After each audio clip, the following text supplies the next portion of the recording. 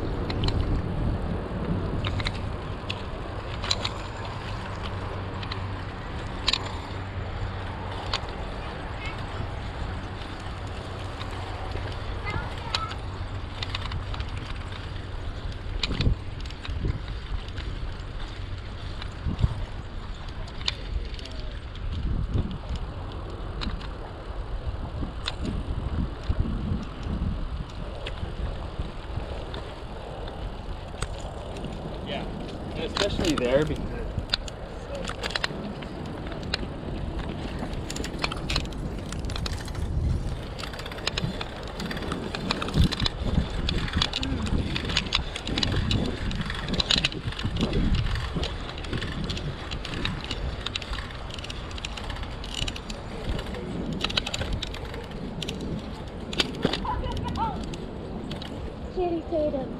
Jesus.